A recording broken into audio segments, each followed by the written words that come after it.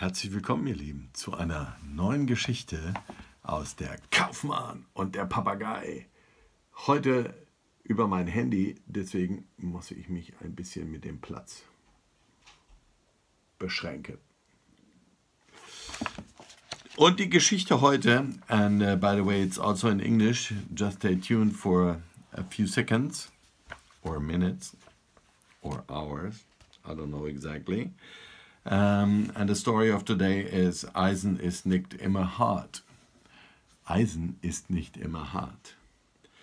Im Zusammenhang mit der selektiven Sexualstörung, bei der häufig die sexuelle Beziehung zu bestimmten Partnern, in der Regel die Beziehung zum Ehepartner, beeinträchtigt ist, höre ich in der Praxis nahezu regelmäßig die Klage, wir sind ganz andere Typen, wir passen nicht zusammen.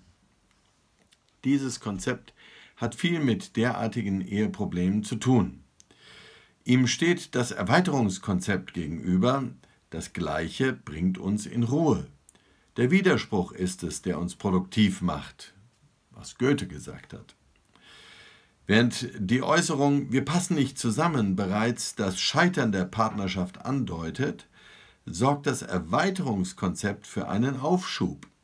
Man versucht verhärtete Fronten aufzulockern und über Jahre hinweg verfestigte Vorurteile und gegenseitige Einschätzungen in Frage zu stellen. Gegen diese Offenheit rebelliert die Erfahrung.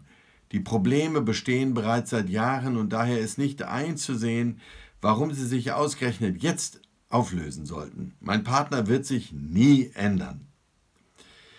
Einer Patientin, die sich in diesem Sinne geäußert hatte, beschrieb ich folgendes Bild, das sie nachdenklich machte und sie dazu veranlasste, ihre Beziehung zu ihrem Partner zu überdenken.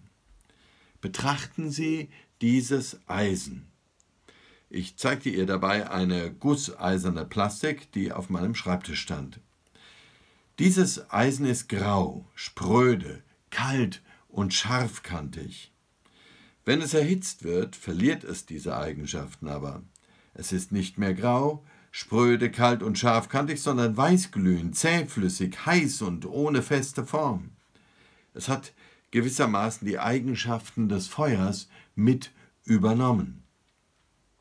Für die Patientin hieß das, die scharfkantige Art ihres Mannes ist nicht immer eine unveränderliche persönliche Eigenschaft, sondern abhängig von seiner Situation und der Patientin selbst.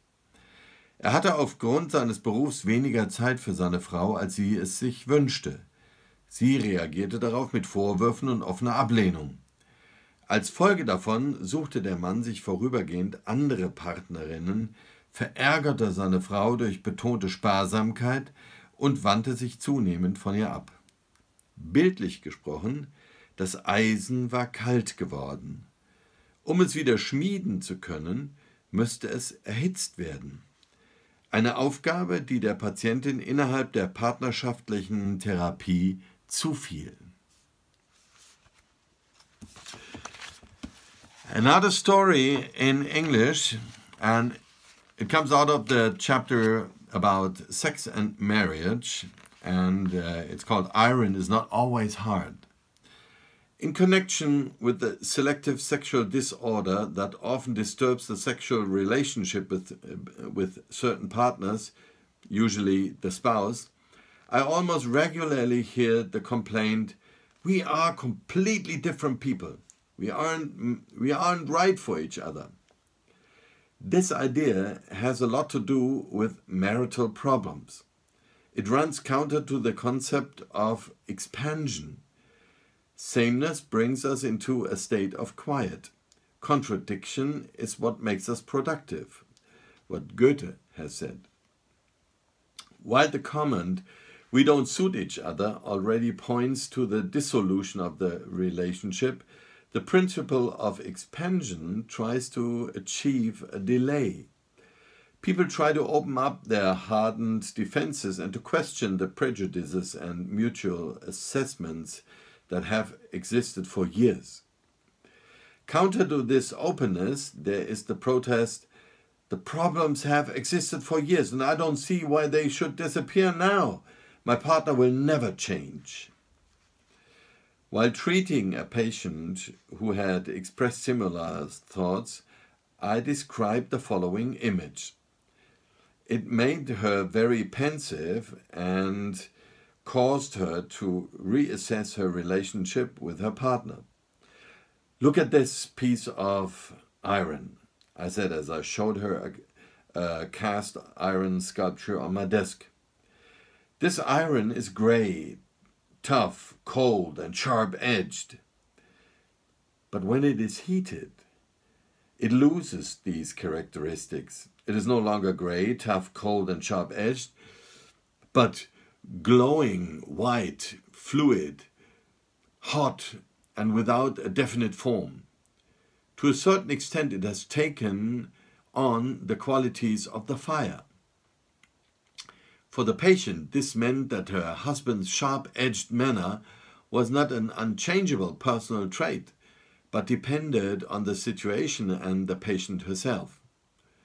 Because of his profession, he had less time for his wife than she wanted. She reacted to this with complaints and open refusals.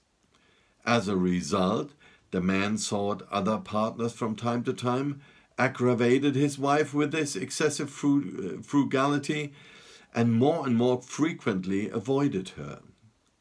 To put it into images, the iron had grown cold. In order to forge it again, it had to be reheated. This was a task which the woman had to take up with her, within her therapy.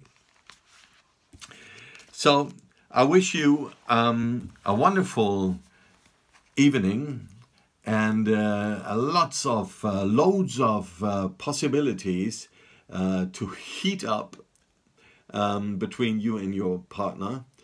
Äh, ich wünsche euch viele Gelegenheiten noch äh, an diesem wunderbaren Abend, äh, euch neu zu erhitzen, äh, die, das Feuer zu schüren zwischen euch und euren Partnern.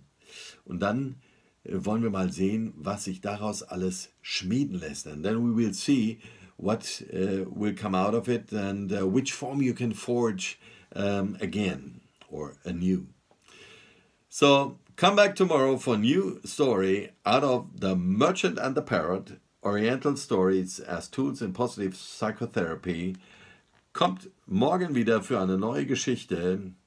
Äh, das war jetzt English Grammatic äh, aus der Kaufmann und der Papagei. Orientalische Geschichten in der positiven Psychotherapie von Nosrat Peseschkan. Bis morgen.